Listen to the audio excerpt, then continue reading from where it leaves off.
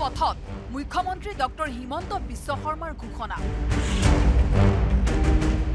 আজিও অত্যাৱশ্যকীয় সামগ্ৰীৰ মূল্য হ্ৰাস পোৱাৰ কোনো লক্ষণ নাই ৰাজ্যৰ ভিন্ন প্ৰান্তৰ লগতে মহানগৰীৰ বজাৰত। মহানগৰীৰ বজাৰত আজিও বৰ্ধিত ৰূপত প্ৰতিটো অত্যাৱশ্যকীয় সামগ্ৰীৰ মূল্য। মুখ্যমন্ত্ৰীগৰাকীয়ে ঘোষণা কৰিলে টাস্ক ফ'ৰ্চৰ কথা। টাস্ক ফ'ৰ্চ গঠনৰ নিৰ্দেশ দিয়াৰ পিছতো কিন্তু মহানগৰীৰ বজাৰত হ্ৰাস পোৱা নাই প্ৰতিটো অত্যাৱশ্যকীয় সামগ্ৰীৰ মূল্য। নিউজ এইটিনত মূল্য বৃদ্ধি আৰু এই ক্ষেত্ৰত চৰকাৰ কৃষি বিপণন বিভাগ আৰু যোগান বিভাগৰ নিৰৱতাৰ ওপৰত ধাৰাবাহিক বাতৰি সম্প্ৰচাৰ হোৱাৰ পিছতেই মূল্য বৃদ্ধি ৰোধৰ ক্ষেত্ৰত বিশেষ টাস্ক ফ'ৰ্চ গঠনৰ কথা মুখ্যমন্ত্ৰীয়ে উল্লেখ কৰিছিল।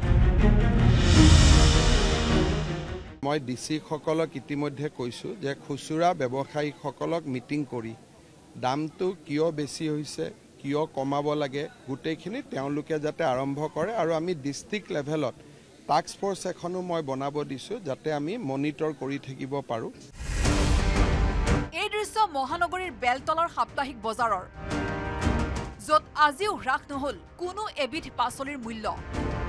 কিয়নো বজাৰৰ দিনটোত প্ৰতিজন ব্যৱসায়ীয়ে মহলদাৰক দিব লাগে ছশ টকা। পাচলি অনাৰ সময়ত ৰাজপথত দিব লাগে গুণ্ডা টেক্স। আমিতো টাস্ক ফ'ৰ্চৰ ক'তো মানে প্ৰভাৱেই দেখা নাই। ক'তো আমি তেওঁলোকৰ মানুহ দেখা নাই বজাৰত কিবা চেকআপ কৰিছে বুলি। এজ ইট ইজ বজাৰ চলি আছে এজ ইট ইজ বজাৰত বস্তু আহিছে দামত আহিছে আমি দামত কিনিছোঁ। বৰ বস্তুৰ দাম কমাৰ কোনো নামগন্ধে নাই। ফলত মহানগৰীৰ খুচুৰা বজাৰত অভাৱনীয় হাৰত বৃদ্ধি পায় অত্যাৱশ্যকীয় সামগ্ৰীৰ মূল্য। কিন্তু মুখ্যমন্ত্ৰীগৰাকীৰ মন্তব্যৰ বাসত্তৰ ঘণ্টা উকলিল অথচ বজাৰত দেখা দেখি নাই কোনো টাস্ক ফ'ৰ্চ অথবা বিভাগীয় কৰ্তৃপক্ষৰ। নিউজ এইটিনত ধাৰাবাহিক বাতৰিৰ পিছত মুখ্যমন্ত্ৰীগৰাকীয়ে টাস্ক ফ'ৰ্চ গঠনৰ কথা কৈছে। যিটো কয় যিটো ভাবে সেইটোকে কয় আৰু মনত যিটো আহে। এতিয়া আমিতো পোৱাই নাই কম দাম একো বস্তুৱে। কেৱল মহানগৰীতে নহয় একেই পৰিৱেশ যোৰহাটতো মুখ্যমন্ত্ৰীৰ নিৰ্দেশনাৰ পাছতো হেৰফেৰ হোৱা নাই যোৰহাটৰ হাঁহচৰা সাপ্তাহিক বজাৰ। বিপৰীতে দিনক দিনে বৃদ্ধিহে পাইছে পাচলিৰ মূল্য। আজিৰ তাৰিখতো কিন্তু এই দামৰ কোনো তাৰতম্য ঘটা নাই যে পাচলিৰ যি আচলতে পটল কুন্দুলিৰ পৰা আৰম্ভ কৰি জিকা ভেন্দিলৈকে প্ৰতিটো পাচলিৰে কিন্তু দাম অত্যাধিক হৈ আছে। আশীৰ পৰা এশৰ ঘৰত প্ৰতিটো পাচলিৰ দাম আজিৰ তাৰিখতো। এই যিটো সমস্যা আপোনালোকৰো সমস্যা হৈছে দাম? আমাৰ আমাৰবিলাকৰ সমস্যা আছে কাৰণ কেলৈ ইমান দামত গ্ৰাহকে খাব পৰা নাই।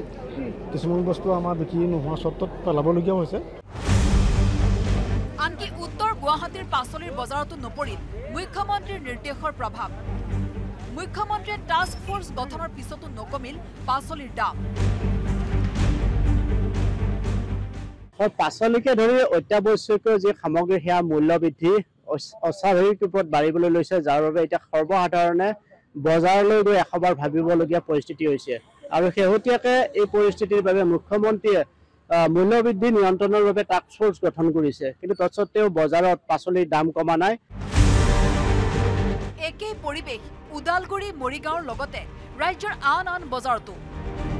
কিন্তু সাধাৰণ জনতাই কোৱাৰ দৰে যদিহে মুখ্যমন্ত্ৰী ডক্টৰ হিমন্ত বিশ্ব শৰ্মাৰ মন্তব্যই কাৰ্যক্ষেত্ৰত অসাৰ হয় তেন্তে মূল্যবৃদ্ধি ৰোধ কৰিব কোনে?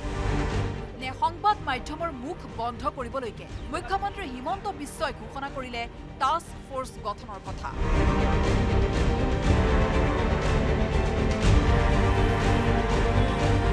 গুৱাহাটীৰ পৰা অসীম দত্তৰ সহযোগত bureau' report news eighteen Assam north east.